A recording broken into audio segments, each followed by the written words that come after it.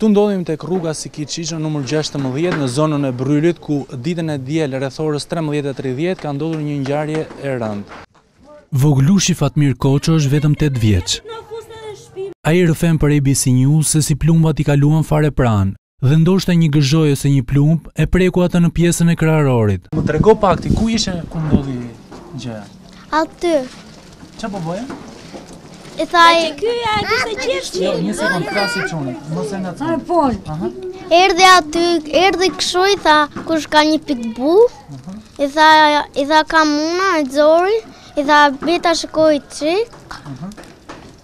E mori, futi atë pistoletën edhe e vravën.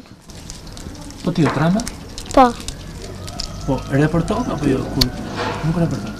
U gjip mi e parë me u gjip. U trembe, vërtet. Më tregon, ça vendi ishe ti kur, kur ndodhi të mamë? Ku? Atje. Këtu? Ishe afër qenit? Jo afër qenit atje. Po qeni ku ishte? Tu. Tu, Po sa sa vet ishin? Ë? Sa njerëz ishin ato që erdhën? Gjithë ato. Edhe dy dëshmitarë të tjerë okular tregojnë çfarë ndodhi mesditën e së dielës kur plumbat iu kaluan fare pranë. Erdhën ato çunat këtu, i thanë që ku e keni atë qenin pitbull.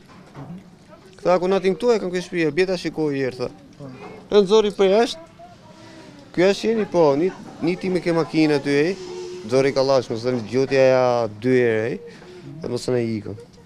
Ata çunat erdhën me taksi dhe i thanë vllait tim. Mhm. Ai po kalonte dhe i tha, po ti tha, ke tha një qen pitbull? Po, tha e kam, tha. Po ma nxirr tha, pak tha që ta shikoj, tha. Ato me të drejtë, se ishte dhe shtatzënë qeni, po thanë që mos do ndonjë klysh ndonjë gjë. Mhm. Dolën e nxorën klyshin, Ai ça bëni, shtyvi vllain tim, mhm. shkrepi atë armën ça kishte edhe i ra nja 7-8 herë qenit edhe iku. E kam rritit të vogël kaq. Pronari i qenit të vrarë këmbëngul se pitbulli i tij nuk kishte sulmuar askënd. Por në bisedë e sipër, motra e Vebi Ri Ollit, 19 vjeqarit të plagosur me një plumb në këmbë që aktualisht ndodhet në spital, rrëfen se qeni kishte sulmuar tre ditë më parë bashkëshorten e personit që gjuajti me armë.